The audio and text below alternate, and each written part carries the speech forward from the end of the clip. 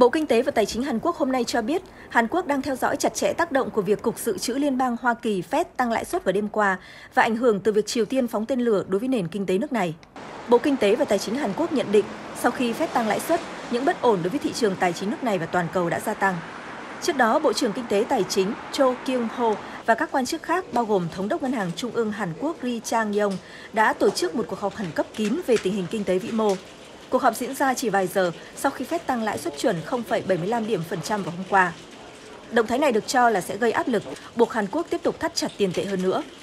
Tháng trước, Ngân hàng Trung ương Hàn Quốc đã tăng tỷ lệ chính sách quan trọng của mình thêm 0,5 điểm phần trăm lên 3% để giải quyết lạm phát, đánh dấu mức tăng lớn thứ hai từ trước đến nay và là mức tăng thứ 8 về chi phí đi vay kể từ tháng 8 năm ngoái trong bối cảnh áp lực lạm phát. Liên quan đến ảnh hưởng từ việc Triều Tiên phóng tên lửa, Bộ Kinh tế và Tài chính Hàn Quốc cho rằng việc này không có tác động đáng chú ý đến thị trường tài chính, nhưng sẽ tăng cường xem xét phản ứng từ thị trường toàn cầu, lập kế hoạch theo dõi chặt chẽ diễn biến thị trường trong nước. Chứng khoán Seoul giảm mạnh vào hôm nay, chỉ số giá chứng khoán tổng hợp Hàn Quốc Kospi chuẩn giảm 39,87 điểm, tương đương 1,71% xuống 2.297 điểm trong 15 phút đầu tiên giao dịch. Vào thời điểm 9 giờ sáng nay, đồng won được giao dịch ở mức sát 1.427 won so với đồng bạc xanh, giảm 9,5 won so với thời điểm đóng cửa ngày hôm qua.